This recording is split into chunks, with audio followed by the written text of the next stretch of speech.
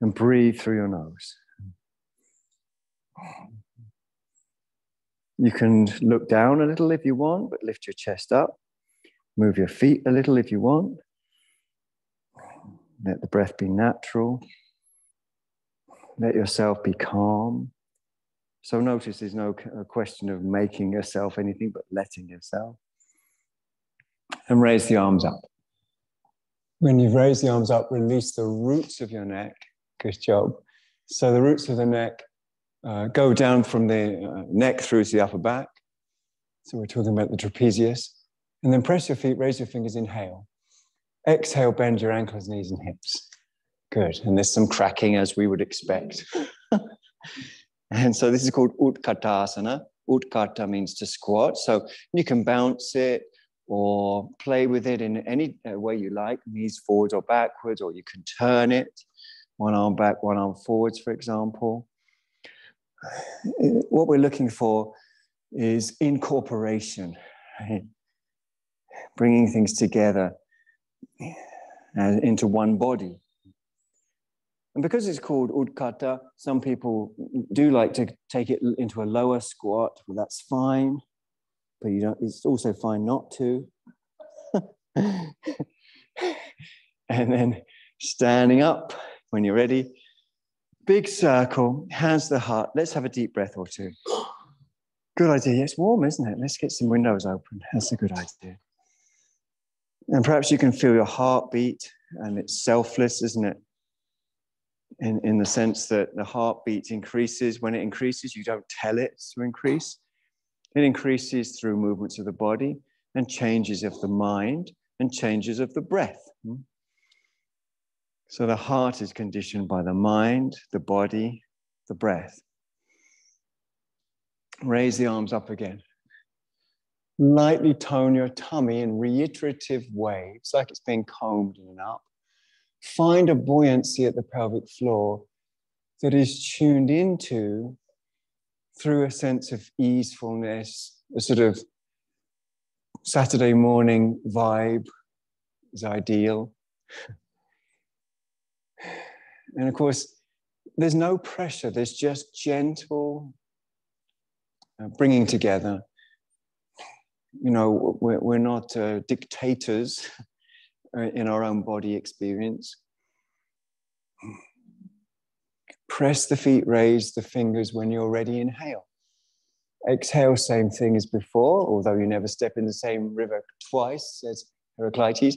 So you can bounce, you can turn, you can, you know, the point is flow, right? And flow happens everywhere if it's happening anywhere. So any movements you make can be anything it, uh, that is to say, it can't be anything, but it can be anything that conduces to an increased sense of this coming together. And obviously, to the extent that we're together, we feel good, and to the extent that we're um, divided, we feel less good. So, even the movements into a yoga posture, even towards a squat, it's not important to squat, and some people won't be able to squat uh, in a month of Sundays, you know, and that's fine and then coming all the way up, big circle, hands to the heart, take a deep breath. Or two, or three, or four, or five. Okay, straight into Adho Mukha Svanasana. So outer rows turn in, this middle row turns out. Adho Mukha Svanasana is downward facing dog. And at home, you can be wherever you want. So pad your paws into a deeper weave with the yoga mat through repetition. And the repetition of the body's union with the mat is also, of course, bringing ourselves together, bringing any disparate parts of our experience gently together. So, breath is number one. And what's number one about the breath is allowing it to be natural, not getting caught up in patterns, but recognizing them as they are, spacious, as selfless. reactions, whether they be the reactions of the heart or mind or body or nerves, are selfless. Come down to regular kneeling when you're ready. And you can put a block between the heels and buttocks and sit up. And take some deep breaths.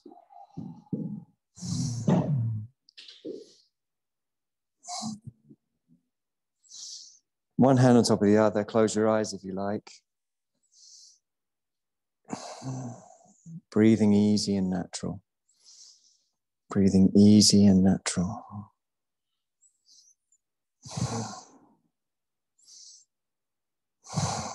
Take your knees a little way apart, toes are touching. Come forwards very slowly. Now, there are ways to do this that make it easier, and I'll come and help anyone who needs it. But with uh, knees apart, toes touching, we're coming forwards real slow with the fingers on the floor. So I'm coming to bring you love and uh, love you need. So coming forwards real slow, breathing through the nose. Real slow. The idea is, see if I can sit back on there. Try that. Nearly. Yeah. Good. Well done. Take a few deep breaths. Good job.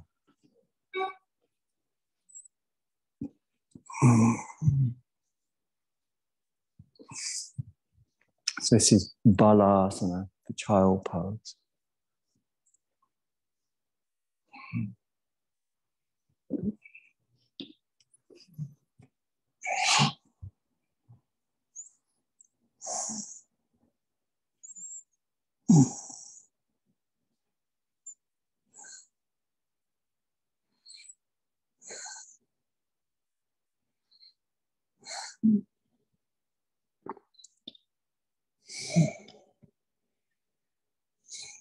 Balasana, of course, increases the blood pressure in the head a little. And that tells our basic systems that the blood pressure has gone up everywhere, which it hasn't, but the basic systems think it has, which means we switch into a parasympathetic response, a calming, settling, centering. Walk your hands slowly back towards your knees. And as soon as you're ready, come to lay on your back with your hands underneath your head, face, facing into the room, into the, so head towards the outer walls, head towards the outer walls. And breathing easy. Breathing easy.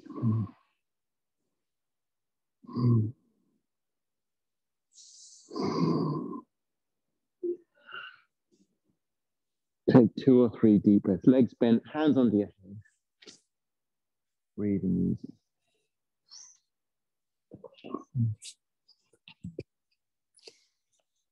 Take an extra deep breath when you're ready.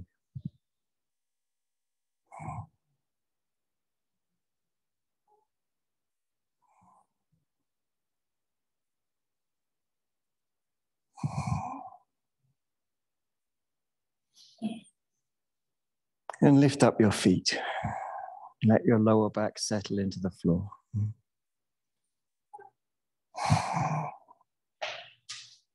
So that's easy too. Very easy. Breathing through your nose. Actually, letting the lower back settle has an effect on the whole nervous system as well. Letting the lower back settle.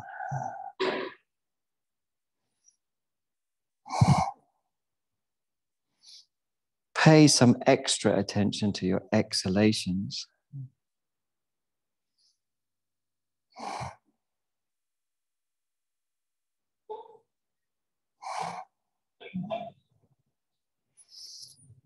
And just notice your exhalations being a little bit longer than your inhalations.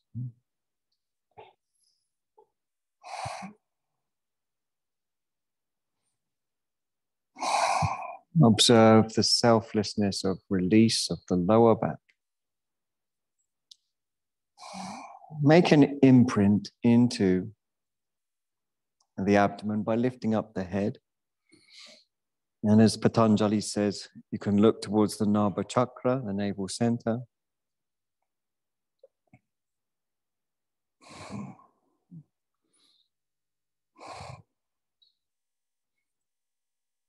And so this world is very stimulating, obviously. it's called the uh, Kama Loka, that is the, the realm of uh, sensuality, of the senses. So if you make an imprint into the stimulated nervous system, then what the nervous system is already holding through to the muscles is offered a way out. The body can't serve two masters at the same time. It can't serve the reactiveness of the nerves at the same time as responding to the request that the pose is asking to stimulate the abdominals. Bring your head back down when you're ready, feet back down. And if you're ready, take a deep breath. Focus on the exhale. And then another, and another. So head down, feet down, eyes soft. Again, just noticing the calming effect, particularly of the exhale and the release of the jaw.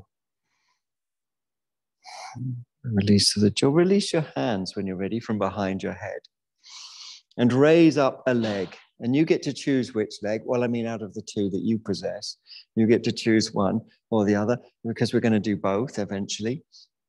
Once you've raised a leg, interlace your fingers behind the thigh and take some deep breaths. Interlace your fingers behind the thigh and take some deep breaths. Great. So, again, there's this gentle imprint, samskara can mean an imprint, into the muscles, which may already be driven by other reactivity.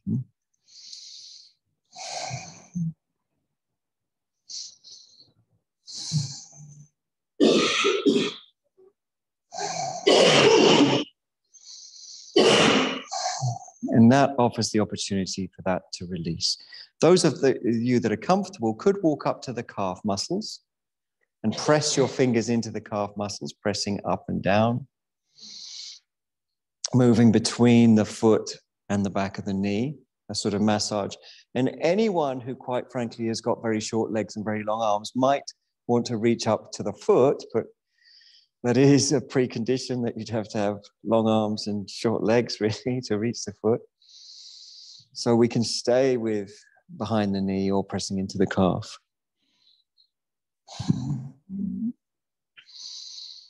What matters is this time that we have, which has no pressure for us to settle.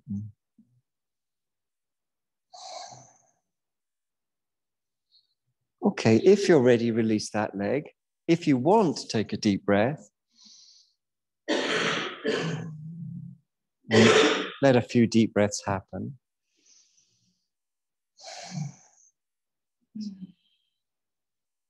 The breath is kind. The breath is kind. Raise up your other leg. We'll call it leg number two, if you like, and interlace your fingers behind the thigh.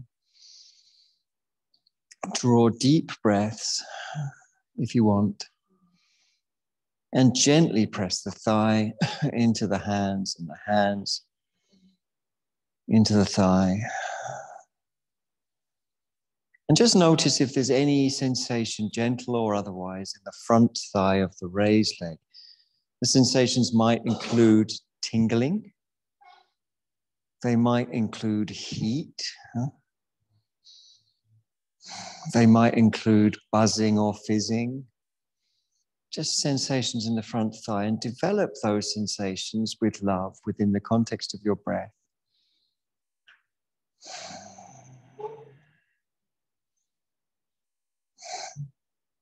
Until you feel a gentle pulling on the kneecap, which brings with it a subtle and I hope pleasant release of the heel.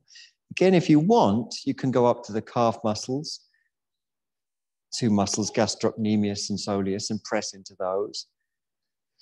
And if you've got those long, long arms and short, short legs, you can reach up to your foot if you want. Let the whole process be settling, especially around the breath and the back and the neck.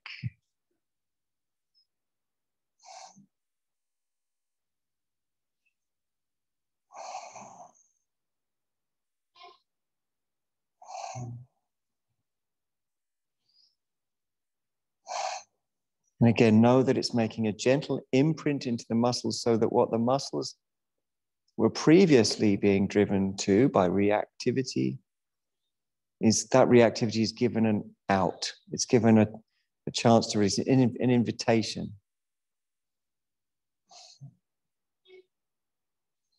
Okay, super. Well done. Bring the leg down.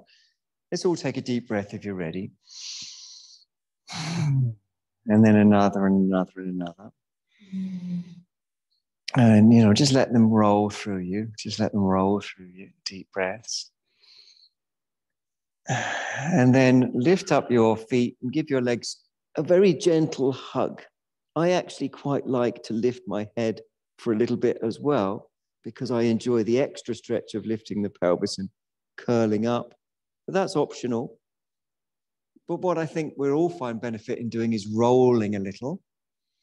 so if you roll one side, you might find uh, a sensation that's really nice.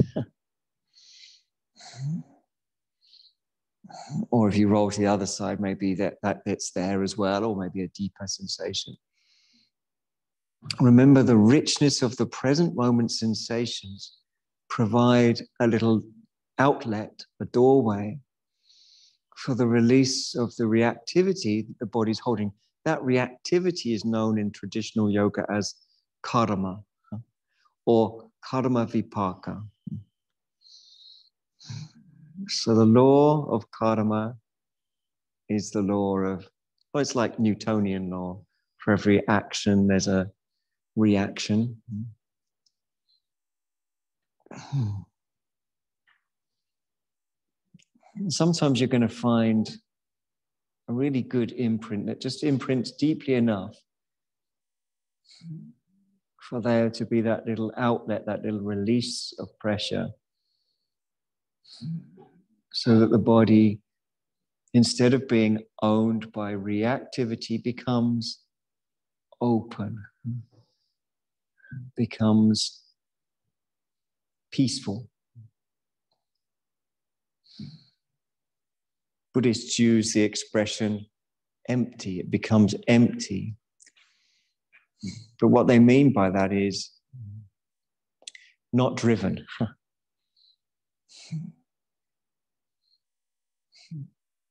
you could use the word clear instead of empty if you wanted. If you're ready, release your legs, place your feet. And if you're ready, take a natural breath that's natural and easy to you. Let your neck relax, let your jaw relax. And just roll over towards the Buddha side. Obviously, those of you zooming at home uh, might roll in a different direction. I don't know how your camera's set up. and lay on your side in a position that I think is ideal for eating grapes um, in, or ideally being fed grapes is my preference when I lay like this. And then extend your bottom ribs.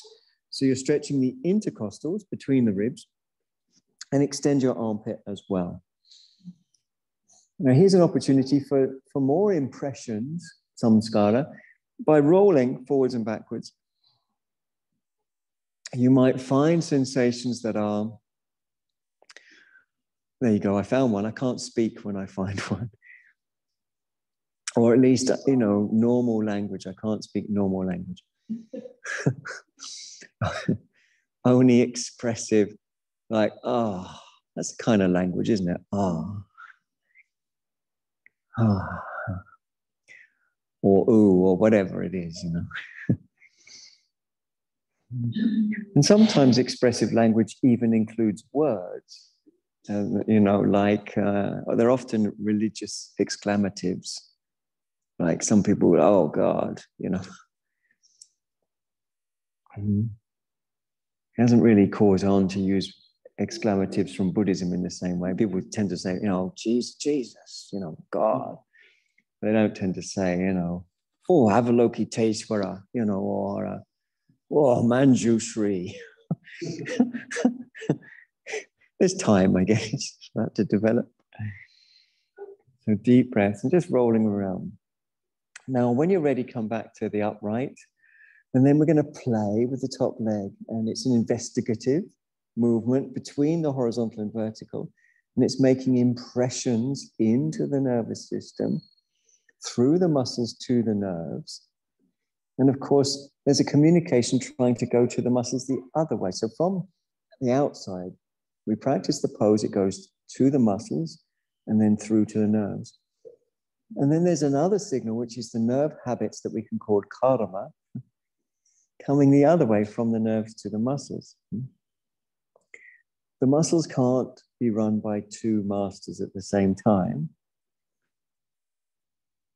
So when you come into a yoga pose and you really let yourself feel the richness and encourage more richness of it, then that richness invites the release through the muscles back to the nerves of what the nerves were holding previously. Now, there's an exciting challenge ahead, and it is the weekend, and I know you like excitement. See if you can take your hand to your foot minimally or not at all moving your foot. So instead of doing this sort of thing, see if you can instead soften all this tissue around the top of the thigh until, now it takes me ages until you can bring, bring the foot to your hand. And it's difficult for me because uh, by nature or nurture, um, I'm not very patient. I think maybe it's a societal thing as well, because the more, you know, the more internet speed we get, the less patient we are. right? So you go on a website and it's 20 seconds and then, oh, it's not come on yet, forget it. You know, taking 20, I'll go on another, you know, website or, you know, 20 seconds is too much, isn't it? To Wait for a website to boot up. Um, we expect things to be as fast as our thoughts, Thank God that they're not. We have thousands more thoughts a day than we have breaths. So if you pay attention to your breath, you bring your thought onto your breath, as it were, you enjoy your breath, it will slow the speed of your thinking down. and then when it's slow enough, you'll realize that it's just an endless production factory of nonsense anyway. So you can hold the big toe if you if you want or not. You can extend the leg or not. The pose is called Anantasana. Ananta means forever. So an means not, like we use it sometimes in uh, English like anachronism or there's lots of ways we use it means not and anta means the end. So the pose means it doesn't have an end so it's eternal. Okay bring your leg down because the pose itself isn't eternal. What it's pointing to is bring your head down draw your knees up take a deep breath Let yourself be soothed by the sensations in the deep belly. There's a point in your deep belly, if you focus on it, is as calming as and, and restorative as deep sleep. You just let yourself rest in it. In your deep belly. And once you're back in the center, instead of caught up in the peripheral, which is reactivity, once you're back in the center, then all your actions and speech and thought become yogic. curl up from the side like a sleepy letter C. so I have to define clearly because I did once have, as some of you know, a student that heard it as come up like a sleepy lettuce leaf. And he didn't tell me that for a whole year. So he spent a whole year trying to come up like a sleepy lettuce leaf. And actually, I think it was quite a, uh, quite good for him.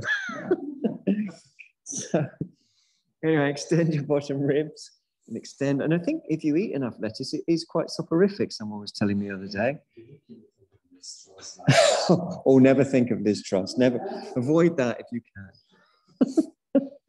Extend the bottom ribs, breathe easy, sure.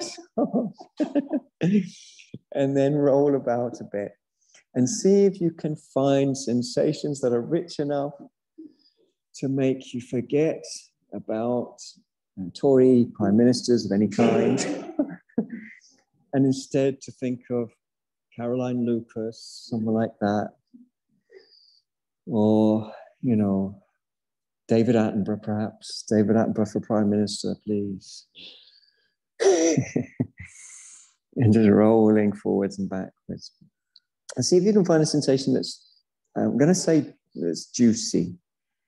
Oh, sometimes you find a sensation that makes your mouth make an O shape, your eye muscles clench up, and you, you know, that's what we want. Yoga is a very simple practice, actually. It's the practice of experiencing something rich enough to challenge your reactivity, conditionality, to challenge it, to offer some meaty uh, opposition to the activity. And then you give to that richness. And that's it. So that's why we want to find a juicy sensation. You've got to find something rich. It could be you could practice yoga looking at a sunset and giving to that. Or feeling someone you really like giving you a kiss on the cheek yeah, and giving to that. Um, or even thinking of something that you find calming and giving to that. When you're ready, coming back to the position on the side and bringing your top leg up and playing. Anatomically, there's several things going on. If you're into anatomy, you're a bit of a nerd, you like to have things validated by science, then you might want to know that as you move, it stimulates the tensor fascia lata muscle, which brings tone to the iliotibial tract on the outer leg. And that sends a signal to the adductor muscles on the inner thighs for them to lengthen and release. On top of which, as you move backwards and forwards, you push fluid out of the tissue around the top of the thighs, and then it comes back in. That tissue becomes softer, more palpable. And that allows you to bring the leg more to the upright. The softer the tissue is around the top of the thigh, I think it's important for us to understand that the release of the body needs the release of the mind.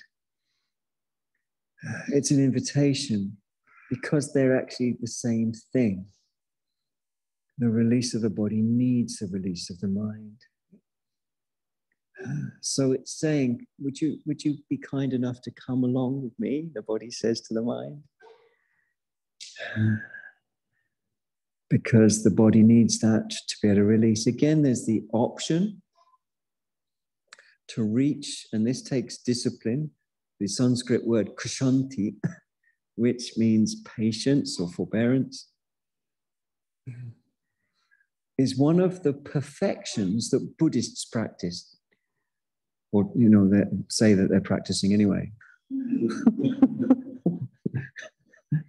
so, these perfections are practiced by Mahayana Buddhists, that is to say, Buddhists practicing what's known as the Great Mahayana Path or Way.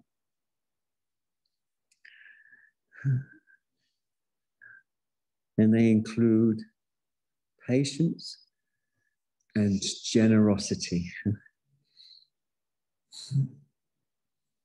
and for someone like me, I don't know about you, I really have to practice those. I'm all right at generosity, actually, but patience. The leg can stay bent or extend. It's up to you. But breathe into agreement. So remember that yoga is a rich sensation, a rich sensation. That's one stepping stone. And then the other is to give to it. So it's not yoga just to stretch or to feel a rich sensation. It becomes yoga at the point you begin to give to it.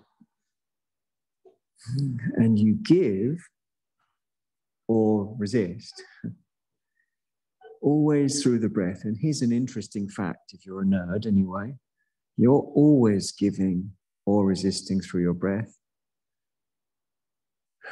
24 7.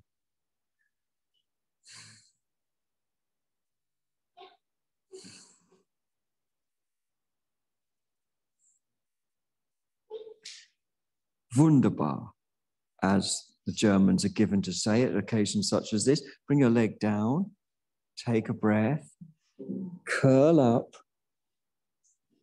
take a breath, jaw soft. Relax if you like. Remember that if you can focus on the Nabhi chakra, which you can, that is the navel center. There's a point deep in the belly that you can rest in.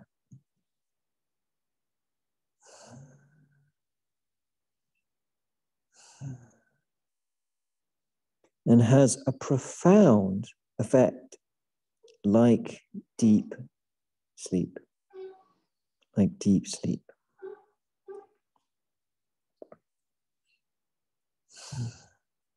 Come up calmly from the side if you can. I think I've knocked myself out actually. Someone might have to get me up.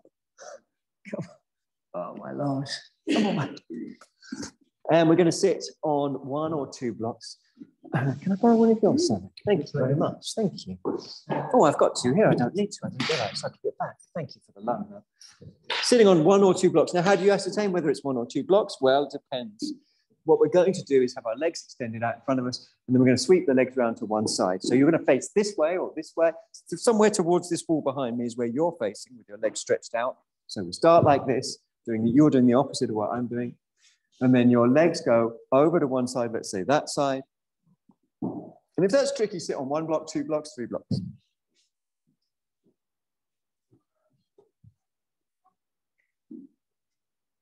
If it's easier, if this is difficult, sit cross-legged on a couple of blocks with a blanket because we're just going to twist the spine. It doesn't matter if your legs are crossed or whether they're over to one side. Now, it first came to my attention that Buddhist monks in the Hinayana tradition uh, sit like this. When I went to uh, Sri Lanka a few years ago, teaching a yoga retreat, and I saw some iconography with loads of Buddhist monks sitting like this. I thought, I thought that's interesting. I thought. this is called Bharadvaja or Bharadvajasana. And it's a name of a sage that appears a lot in Buddhist texts.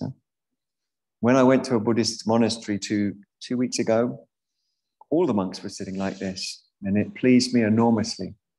And what really pleased me was I accidentally sat where the monks are supposed to sit, and I was surrounded by monks, and I was like, oh, nice.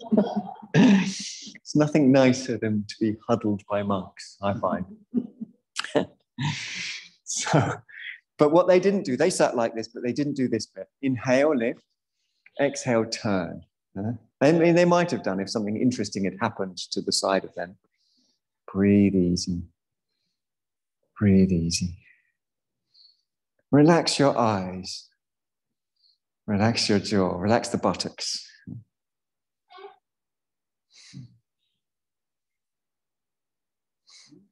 If you're someone who thinks a lot, welcome to the club. Mm-hmm. It's a very, very big club. We want to notice that thoughts are constantly being manufactured out of the reactions of the nerves and out of the stimuli of the senses, and they constantly create thoughts. And I recently spontaneously came up with a the reflection that it's like a sausage machine, the mind, like a sausage machine. Yes, I said that. And sausages, I don't know if this is true or not. There's a report, isn't there, about sausages? It's just made up of any old crap that's right, you know, just put it all together and make a sausage, whatever's laying around. And I said it's a myth probably, but and then they make sausages. Same with think with thinking. Any old crap that's laying around makes a thought, and then it pops out of the sausage machine, and then another comes, and then another comes. And so it's impersonal, it's just a factory. So it's important just to let that be, just let the sausage machine produce sausages, but not attach too much importance to them.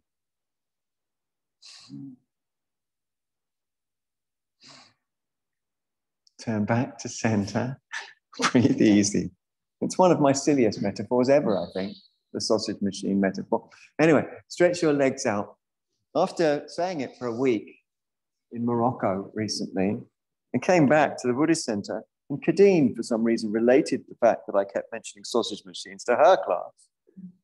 And somebody overheard and said, Did you know the Buddhist center before it was a Buddhist center was a sausage factory? Mm-hmm. Legs over to the other side. It's a mystery. Arthur C. Clarke could get involved in this.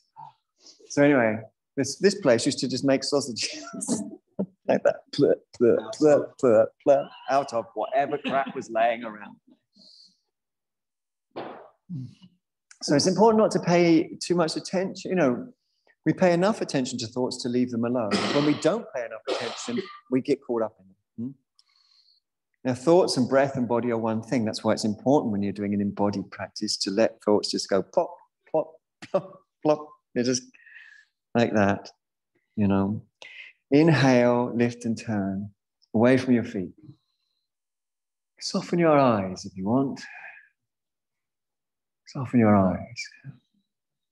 As if you're looking at something that would make your eyes soft, like the sunlight coming through the leaves of perhaps a beech tree in May. To me, that makes my eyes soft. Or whatever else makes your eyes soft. Hmm?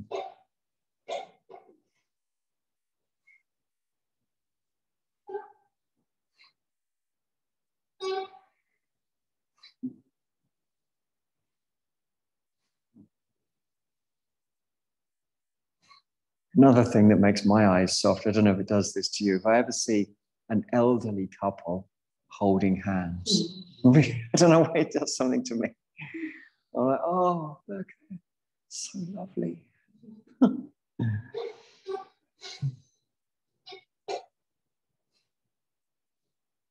Beautiful. Return to center. It's Bharadvajasana. And we're going to dismount. We're going to come again into Adho Mukha Svanasana. That's the downward facing dog. Come up when you're ready. We're going to do it twice. First way, well, just like this, just like we are. And the second way, well, we'll talk about that when we come to it. This first way, really bringing your attention to the present because you know, the sausage factory makes these sausages, these nervous system that include thoughts and reactions out of random memories of the past and obscure expectations about the future.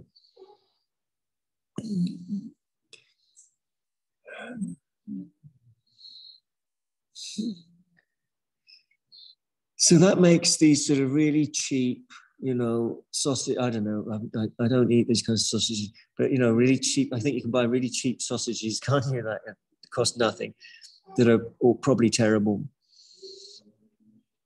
Mm-hmm. But if you bring your attention into the present huh, and pad your paws into deeper weave, stretch up through the back, then what the mind's making the sausages, sorry about this metaphor, out of becomes purer and purer until they become those very delicious, expensive tofu sausages from Infinity Foods that you can only afford once a fortnight if you're lucky. armpits open to the groins, outer armpits open to the hips, breathing natural. breathing natural. Well done. Come down to a regular kneeling, or sorry, hands and knees position. And then we're going to take the second version. Now, the second version, you're probably going to need to use two, a minimum of two blocks and a blanket. But I'll show you the second version uh, because then you'll get an idea of whether you've got enough or too much. So what we're going to do in the second version, don't do it yet, I'll show you first. Let's put our two blocks with a blanket on top probably underneath our navel. We're going to come up, we're going to release the crown of the head to rest on that surface. What we don't want to do is collapse like that. What we want to do is keep stretching it up so that the neck releases down from the upward stretching back, right? That's all. Okay, so when you're ready, uh, including immediately, you place it under, start on your hands and knees and put it underneath your navel, right, uh, which is your belly button. And you'll probably need more height than I had, right? You, there you go. So if you need another block, let me know. So you're starting on your hands and knees with a block underneath your navel, and then you lift up when you're ready. And then you might straight away realize, oh my God, those blocks are miles away. Don't bend your elbows or push your head. Your head should drop from an uplifting sensation. I'm bringing more blocks around to nearly everyone.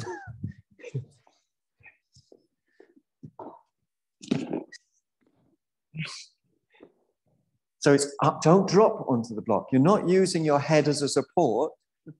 Your head releases down. Good. Yeah, take your hands really far forwards, much further forwards. I'll bring you more support here. Here at the BBC, of course, I'm bringing blocks. At home, if you're practicing this, watching it on Zoom, then you might use whatever. I don't know what. Pleasure. Good job. If you take your hands further forwards to where my hand is, but it's miles away. Oh my God. Good job and then gently push. Breathe easy. Just the crown of the head that should rest and settle. Good, but don't lose the uplift. Don't compromise the uplift. If you need more blocks, let me know. Good. Looks good. You haven't lost your touch. Looks good. Bring your hands a little further forwards to where my hand is, which is a horribly too far. I know. I do love you though. Good. Well done, gang. Down you come, back to hands and knees.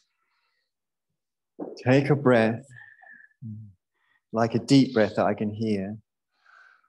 Yeah, take a few, take a few of those deep breaths. And then, nice and easy, we're going to put two blocks long side to long side and we're going to fold our yoga mat as a gift for you. Pleasure. Gift for you. I'm trying to help some people. I can't help you all, but I'd love to. I've managed to help three. It's not as many as I'd like, but I'd love to help more. Nearly, but just turn those blocks away around that way. Oh, your nail varnish is magnificent. Look at that colour. Then you're going to cross your legs. So those of you at home, you've got two blocks alongside. As long alongside you cross your legs. Imagine my feet are on blocks. They're not, but imagine that they are.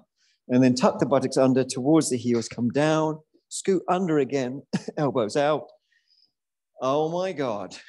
If you don't like that, you don't like life. Saying that, if your back feels tight, let me know and I'll bring you more blocks. Good. Yeah. Always down went down quick. Good. Well done. Take a breath or two. I like to stretch my arms over my head for this. Is that okay? The sun in your eyes like that? Do you quite like it? Oh, good. You can imagine you're on a lovely summer holiday. So I like to stretch my arms over the head because I can sense, maybe you can too, a stretch that comes from the inner groins across the lateral sides of the pubis through into the deep belly. And that stretch of the psoas, if I breathe into it, if you breathe into it, if we breathe into it, provides a really deep release deep down to the very sort of substrata of our nervous system.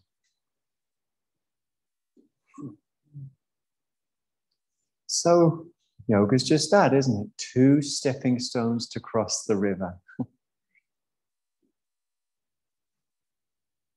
On one shore of the river, our experience is independent.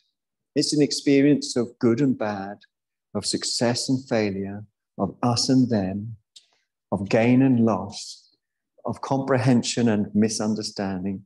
All these polarities on one side of the river. The far shore, if you were to stand there, everything would be experienced as interdependent. You and me are the same. If I'm hungry, if this body's hungry, I feed it. If that body's hungry, I feed it. It's no different. I'm not being charitable, it's just they're the same on the far shore. Hmm. How do you get from one to the other? Two stepping stones. A rich experience, like the stretch that you might feel across your groins, in your deep belly through into the very depths of your belly.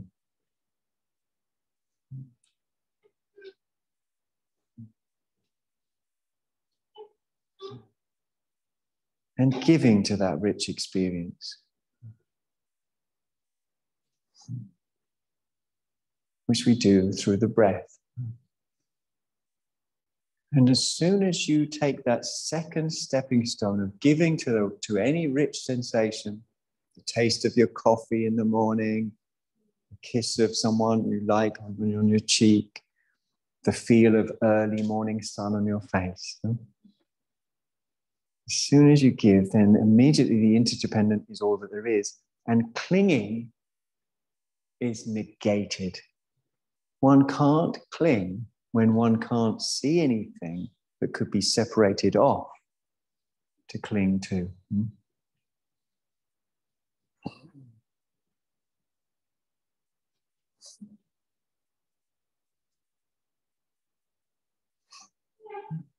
So, this is why giving is so central in these practices. The practice is known as dana.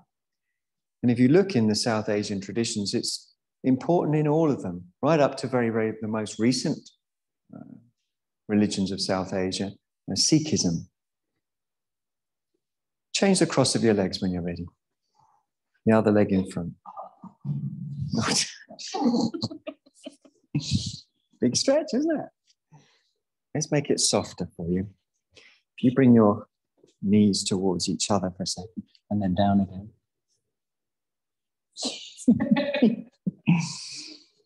Good. If you're finding your back's tight, just let do let me know. I mean, at home, of course, there's, there's not much I can do if your back's tight. So remember, we're just laying on our backs.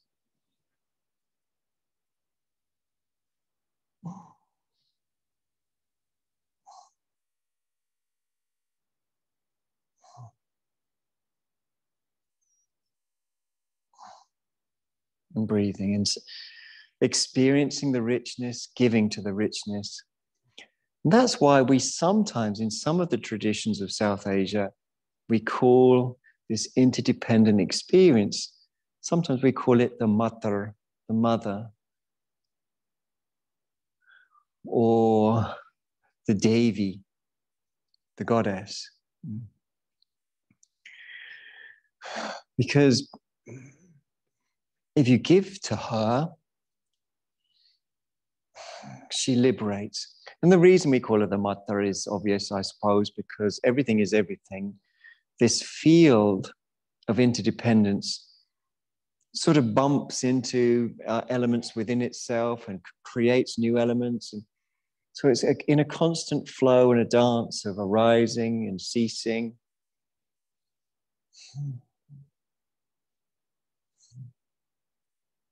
like raindrops on the surface of a, a lake, making ripples here and ripples there, and then the ripples bump into other ripples and make new ripples.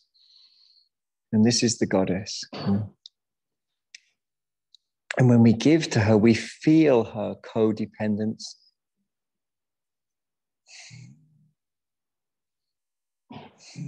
And clinging just is like, is incomprehensible.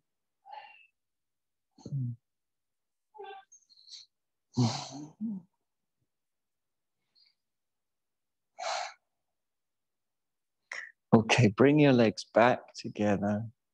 Soles of the feet on the floor. Just scoot the buttocks under.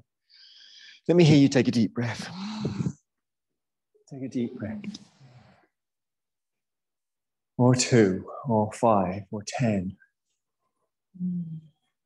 Deep breaths, deep breaths.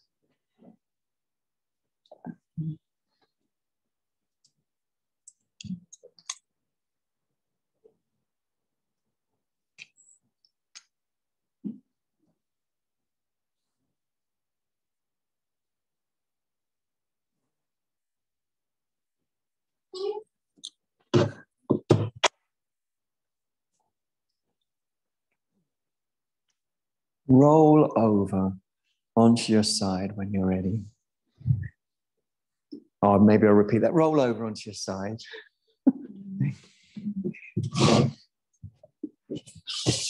and yes, exactly. Because you're also chillaxed, which is, you might not have heard of that term yet, it's a contemporary term, chillaxed. It's very trendy, as indeed am I.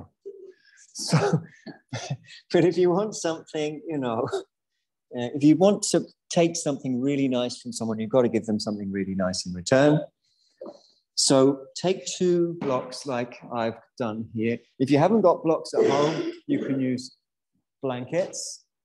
If you haven't got blankets at home, you can use towels. If you haven't got towels at home, what? Where's your towels? Uh, then we're going we're going to pleat it. I don't know if I should, but I always still do sing in my head to the music of Michael Jackson's Beat It. I just replace it with Pleat It. So pleat it when you're ready. That's what you make. I think it's Stevie Ray Vaughan playing the guitar in that song. I'm not sure if that's correct, but I think it is. You pleat it. Now you need a belt as well. I'm not sure everyone's got a belt in here, so I might have to scoot downstairs and get belts before I do. I'll uh, demonstrate. So if you haven't got a belt, don't worry yet. Uh, if you've got a, uh, I'm going to bring third blocks around as well, which will go on top like this. I'll very briefly demonstrate by borrowing Simon's belt, and then I'll go and get more belts for anyone who hasn't got any. So first thing to do is make sure the belt's undone.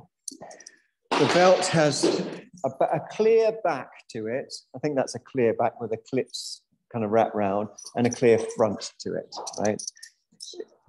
So we're going to thread through round the back like that, through near the material side of that bar, and then back through the other way.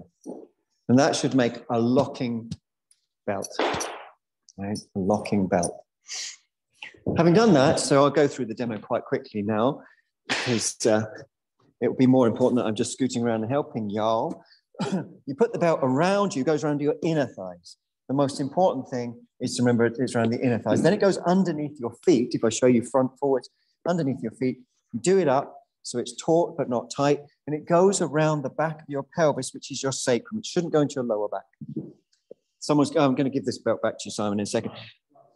Oh, bless you. Thank you. Listen, um, super important is this. You tuck the pelvis under towards your heels and pressing into the lift, stretch your lower back, keeping your chin towards your chest. If you lay down rather than stretch down, you won't be comfortable. So we've got to stretch down, not lay down. And I'll come and supervise, pleasure, supervise you in your endeavors. Good. Yeah, you got it. Oh, another block flare. Oh, she Good. That's it. Put it over you, between your legs. Nearly. Oh. I'm going to. I'm going to present. Pretend you're being sort of given some an award. Oh. Okay, there you go. It's exciting. Bring your feet close to your pelvis. That's it. And bring your soles of your feet together to touch. Don't bring the belt there now. Keep it where it is. Oh, that's it. That's it. Yeah. That's a pleasure. And then you can pull that to make it more tight. Make sure the belt's down low and make sure you scoot the buttocks towards your heels and stretch your back. Please don't lay down, but stretch down. That looks good. Is it staying done up? Yeah, it is. Oh. Good. Yeah, you got it. That's the first movement. Do that again. That's scooting under. Just, um, yeah, like that way. Yeah. And then stretch your back.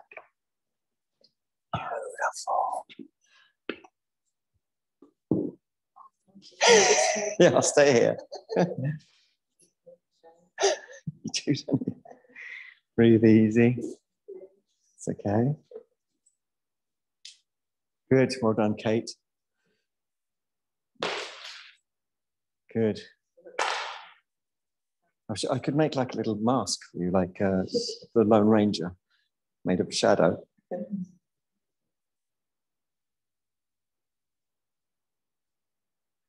Okay, keep your eyes closed. I've got a second solution. Keep your eyes closed for a second. Good. You need to be sitting on the floor, not the lift. Keep them closed, keep them closed. Good. How are you feeling? Feel okay? Slight strain. Where have you got the strain? Okay, lift your head. Breathe down again. Uh, it down again. Okay. Just stay as you are. Don't do anything to help me. Try to manhandle you. and then stretch your arms over your head towards me. Just hold on to my marvelous leggings. And don't do anything to help me. And then hold your elbows over your head so that way. Any- yeah, good. If you're not comfy in the back, tell me using words such as, I'm not comfy in the back. Okay, so there we are. Don't jump back anymore. That's it. Place your hands on the floor like that, like that. Fingers forward. Scoot the buttocks under towards your heels. This way. That's it. And then stretch your back. Keep your chin towards your chest.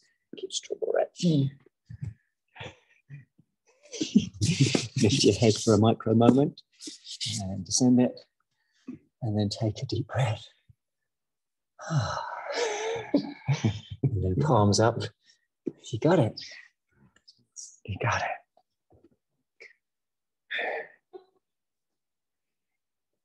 So please let me know if your back's tight, even a bit. You might think, oh, you you know, if you've if you're British or if you've been in the UK long enough, you might have got this British thing where you don't complain ever. But I want you to, just to say, oh yeah, I've got a tiny niggle because we're supposed to, oh, I'll be fine, don't worry about me. But any niggles, let me know.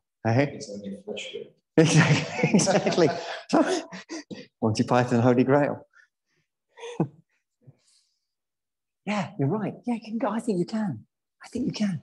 But I'll give you what I'm going to do is give you a wafer thin one and more another Monty Python reference.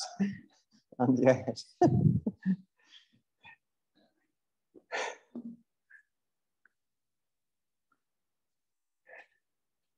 Good. Breathe easy. See if you can say yes with the breath, at least with one breath.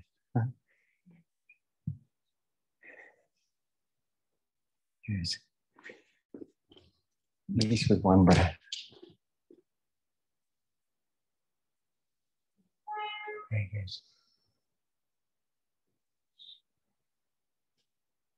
So the pose is Supta Baddha Konasana.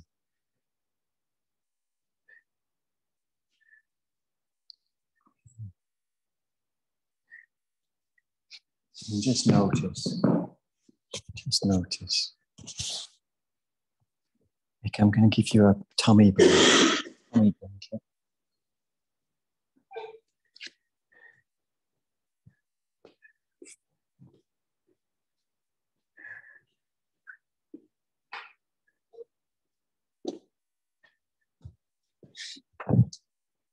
Now, the great thing about Supta Baddha Konasana, it's great for yoga students, yoga practitioners, but it's also useful for yoga teachers when they've had one cup of tea too many. I'm just going to lift your knee.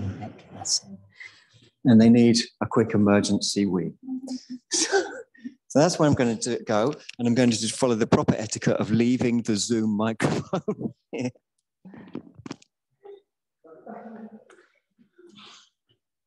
one deep breath.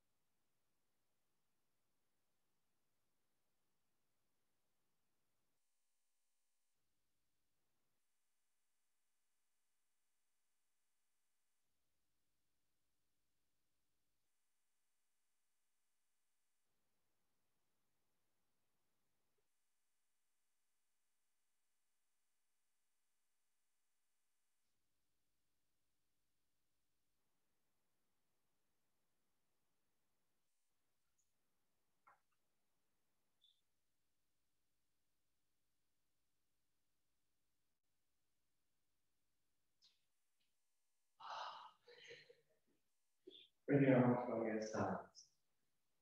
We press resolutely into the ground, press resolutely into the ground to bring yourself up. And then nice and slow and easy, you can undo, I hope you can undo the belt.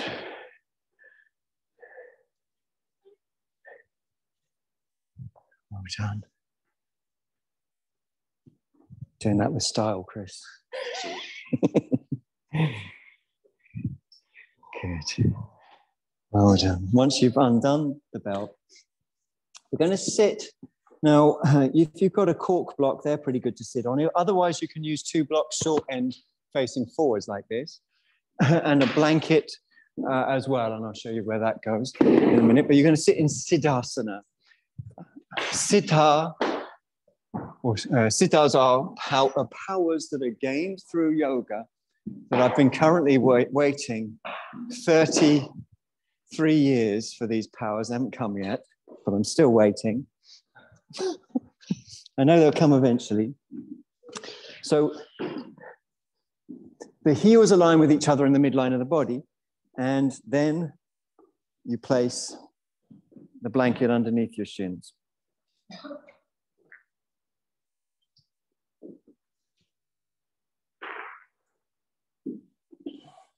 Draw the buttock flesh out and back.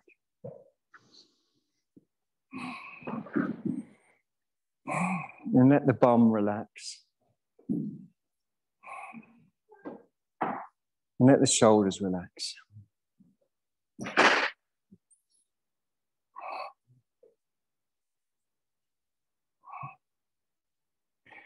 Now, we find time and again, even going back to the Upanishads, uh, references to channels, but particularly in the Upanishads, which are the earliest reference to channels in the body and winds in the body, there's an emphasis on the heart plexus of channels, where 101 different channels, according to the Upanishads, emanate from this heart uh, plexus. As time goes by, the philosophies get more refined in their descriptions. And in the center, the very center becomes a psychophysical correlate to being centered. And being centered means that imagining a compass or a watch with so many points around, and at each point there's an opposite. On a clock, there's a three, the opposite is nine, or 12 and six or on a compass north and south, east and west, and so on, and lots of points all around that opposites. Those are called dualities. They represent our normal tendencies to reach out.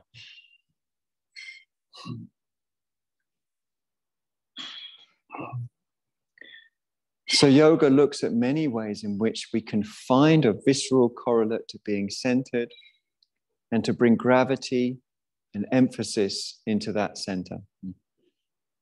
So this is a little practice for that. What we're going to do in a minute is breathe in and then re-breathe, which means you're going to take a bit of the inhale, not going to breathe out, a bit more of the same inhale, and maybe even a bit more, like blowing up a balloon. When I, I blow up balloons, like you know, little, little, little. So similarly, like a balloon in the heart that you're blowing up with, bringing energy in. And when, then you hold your breath, hold the energy in, and you do the actions that I'm about to show you. So I'll show you the whole thing, and then you can um, do it yourself. So remember, these actions are there to massage that energy in the heart. This is what it looks like. Before you do it, I'll show you.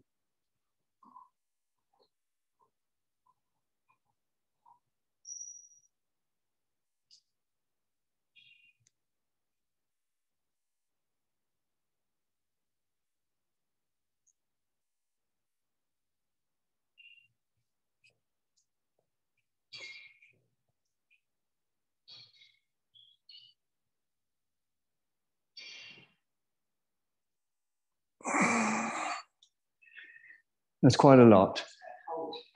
That was a breath hold. Um, but no, I did five, five, five, five, five. That's a longer breath hold. So st- start with three, uh, like three, three. You start with your right. I was mirroring right arm first. So when we're ready, we're going to, I'll talk you through it as well. Inhale into the heart, re inhale, re inhale, hold it, right arm. Massaging the heart as you move your arm around three times and then three on the other. And then this rather sassy circling with your hands stationary on your leg. It's just you're massaging the heart three times and then three times the other. And then you breathe out. And you take another deep breath just to relax. Just feel like you've placed a bit of an anchor in the heart center, in the heart center.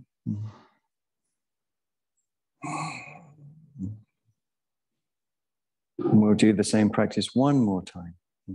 So when you're ready, breathing and rebreathing.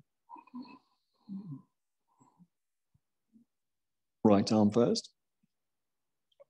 Really feel you're massaging the heart three times three on the other. So really feel like that energy is being massaged. Then the shoulder shimmy, which is actually for the heart again. Three times and then three. Keep the hand still on the leg. The hand doesn't move. And then you breathe out. And just let natural breaths happen, but really have this sense that there's this deeper, stronger anchor in the heart center.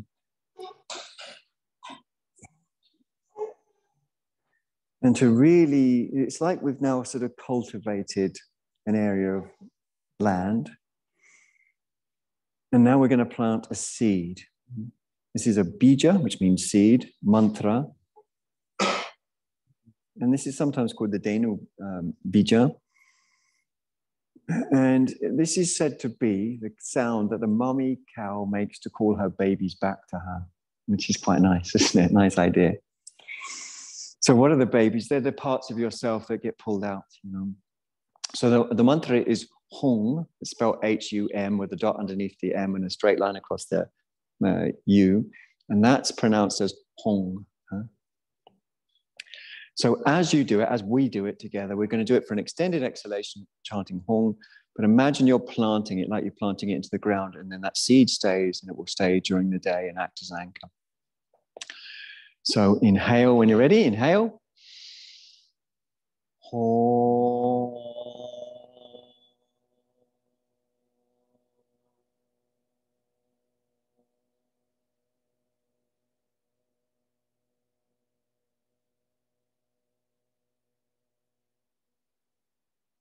deep breaths after that. Hmm. And just feel that you're planted, that seed is planted, that hung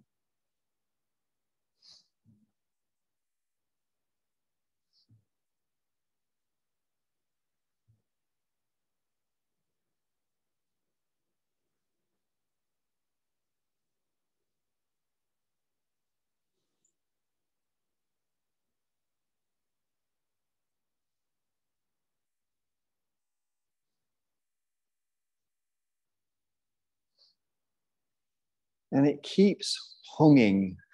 If that, if that is a word. right? You can imagine, it's, you know, you set it off, but it's still doing it.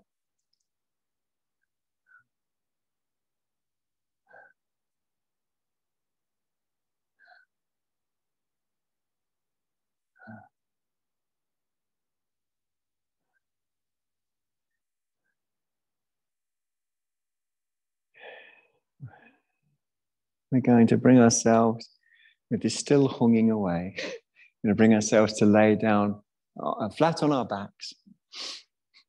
Really comfortable, I hope. Some head support should be taken. Your head shouldn't tip back.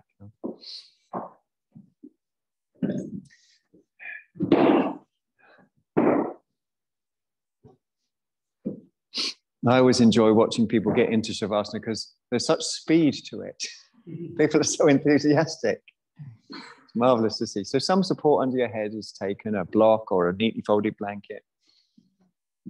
So, your head shouldn't tip back at all. Why? Because we want the head to tilt towards the heart. Shoulder blades are tucked under, chest is buoyant. Hmm. Eyes are closed.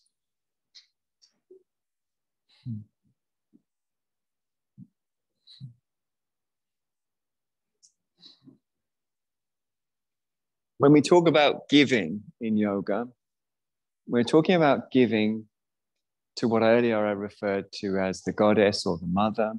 The mother, because she is the yoni, that is to say, the source of all phenomena. All phenomena are co created by all phenomena things bumping into things, creating other things. like thoughts bumping into thoughts and creating new, like little baby thoughts, you know. Hmm. Or seeds bumping into the earth and creating little baby trees, things bumping into other things, or ripples bumping into other ripples and creating new ripples.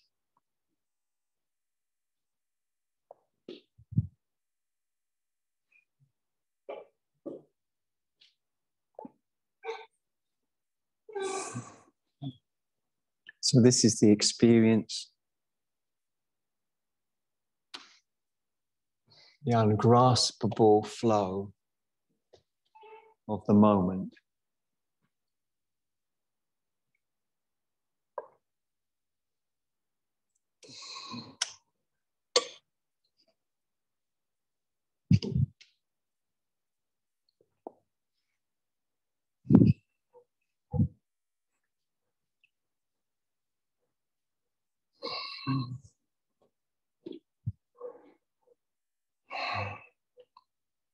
And as we rest into the ungraspable flow of the moment, guess what? We don't grasp. And when we don't grasp, tada drashtu swarupe avastanam, then we fall into our unbounded, unconditioned, uncreated, uncompounded, unlimited true nature. Mm.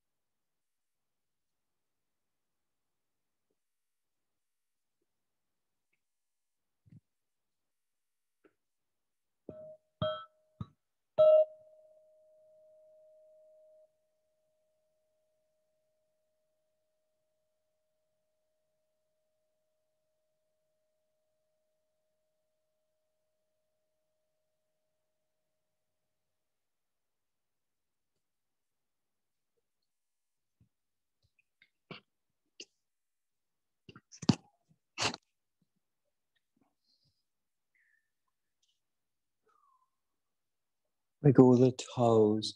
Feel into your body like it's something new, and fingers and wrists. Just feeling into the body.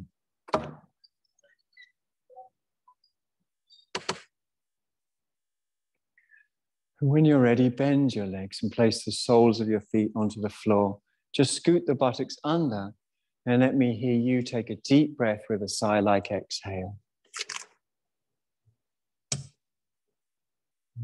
A few of those deep breaths come and go.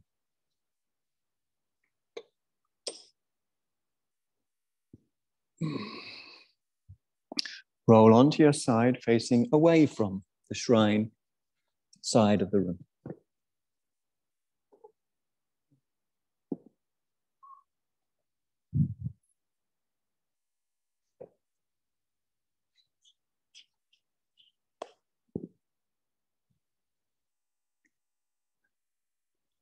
Then, when you're ready, roll again and face towards the shrine side of the room.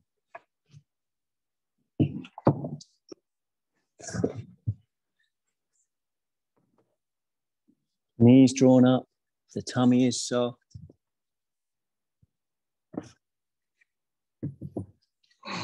And we can focus on that feeling in the deep belly, like we did before, that is restorative, like deep sleep.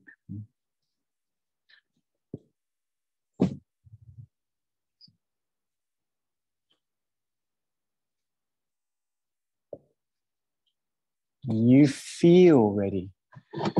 You might want to rub your eyes or stretch out an arm or a leg. When you feel ready, bring yourself up nice and easy from the side using your arms to help your ascent.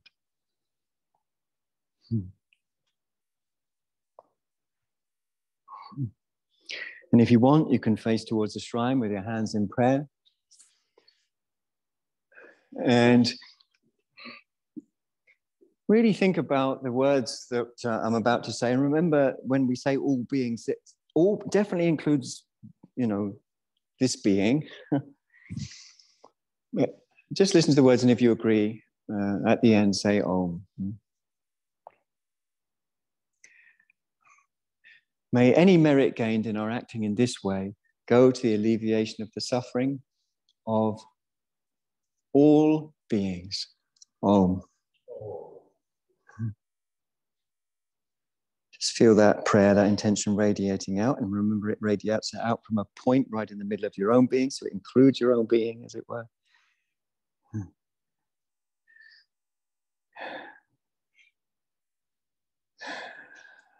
Thanks very much for your time, Zoomers and Roomers.